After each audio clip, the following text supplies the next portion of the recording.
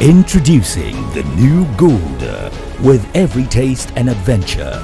Now with a fresh new look, a bold new aroma, and a crisp new taste. The new Gulder, now crafted with passion. Also available in 45cl bottles and 44cl cans.